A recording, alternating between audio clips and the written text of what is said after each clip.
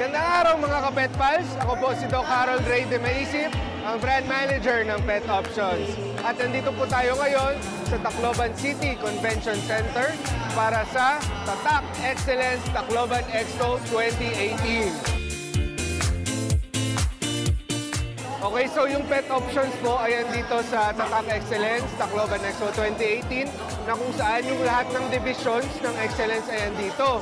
Yung game fowl, yung rock dog, yung pork champ at yung pet options na kung saan na sama-sama po tayo, nagpapakilala ng mga produkto po natin, nag-educate ng mga taga-Tacloban, taga-Leyte, taga-Samar and neighboring areas ng responsible pet ownership. Nag-educate din tayo ng mga iba't ibang paraan para mas mapaalagaan natin yung mga pets natin when it comes to grooming, animal health, yung right ng vaccination, deworming, at saka yung iba't ibang sakit pa na kailangan nila malaman.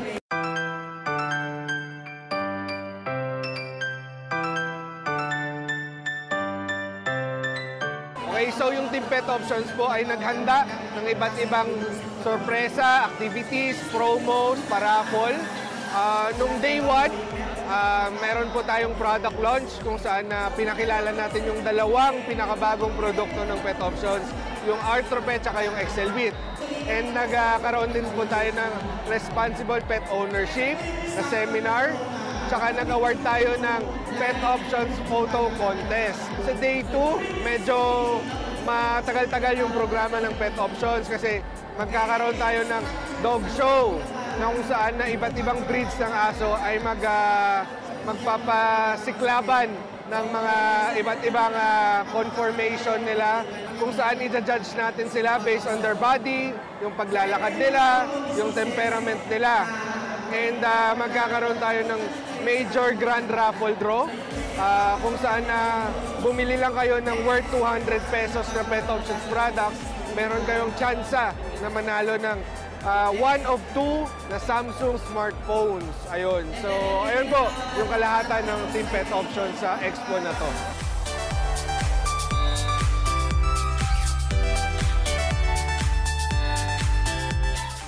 So, yung maitutulong ng mga event na ganito para sa Team Pet Options ay yung uh, makilala yung mga produkto namin, lalo-lalo la sa mga backyard breeders, sa mga small-time breeders, sa mga gustong mag-alaga ng aso, at sa mga iba't ibang uh, breeders, mga pet pals natin na malalayo na hindi natin abot. Yung mga expo na to ay mas pinapalapit nila tayo sa mga kapet pals natin dito sa Kabisayaan. Yung magigain ng mga kapet pals natin sa amin, sa Team Pet Options, ay yung knowledge na may tuturo namin, namin sa kanila right in front of them. Mas ma-introduce namin sila kung ano yung gagamitin, ano yung right way sa pag-aalaga ng kanilang aso at pusa. So far, napakaraming dumating dito sa Expo. Hindi ko inaasahan sa lahat ng ginawa naming Expo sa Excellence dito sa Tacloban na nakita ko napakarami na dumagsa ng mga katukaan at ka-pet pals natin. At saka syempre may mga bago kaming divisions, uh, dumating rin yung mga clients nila. Napakamaluwag yung pagtanggap at uh, tinanggap talaga kami ng mga taga-Tacloban.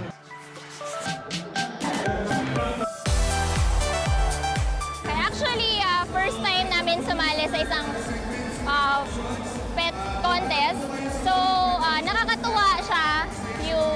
na to. So maraming salamat sa opportunity.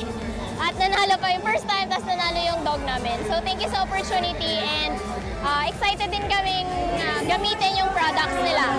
Sala Unang-una, salamat sa Pet Options kasi nabigyan ako ng pagkakataon na ma-display ko yung aso ko tapos makipag-socialize sa, ibang sa iba.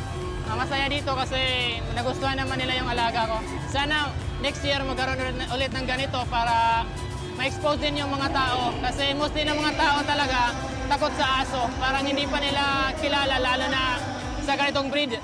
Inuhusgahan nila yung itsura. So kailangan talaga na ma-expose yung mga ganitong aso kasi mabait talaga to sila. Sinabihan lang kami ng ate ko na meron daw gaganapin na dog show, kaya sumali kami. Maraming salamat po sa Excellence sa pagdala nito dito sa Tacloban. Salamat. Si Pepper nanalo ng champion sa small breed ng pet option dito sa Robinson, Tacloban City. Masaya, excited pati ang aso. Mas dapat nating pahalagahan at saka mahalin ang ating mga alaga. Tsaka bigyan natin sila ng concern, ituring natin silang pamilya. Ah, nagpapasalamat kami ng anak ko at saka ng alaga niya sa pet option at saka sa excellent. Dahil sa binigay nilang opportunity, maraming na natuwa at saka marami pang magkakagusto na sumali at saka mag-alaga.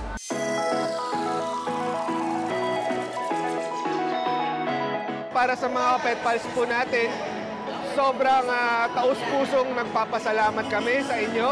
Kasi kung wala sa inyo, hindi po magiging ganito kaganda yung event namin. Ah, event pala natin lahat. Sa mga iba't ibang tao pa na mapupuntahan ng Tatak Excellence sa mga expo na ganito ay ah, punta po kayo. Wag, wag po kayo mahiya o magdadalawang isip na pupunta sa mga events na ganito kasi talagang marami kayong makukuha na mga matutunan na knowledge and ah, makakilala ng iba't ibang endorsers po ng Tatak Excellence.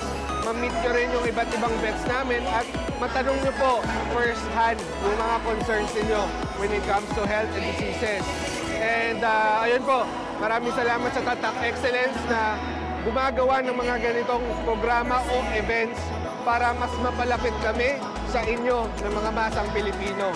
So, ayun, salamat sa lahat. Muli, ako po si Doc Harold Ray Damacy para sa Pet Options. We care for them all, big and small.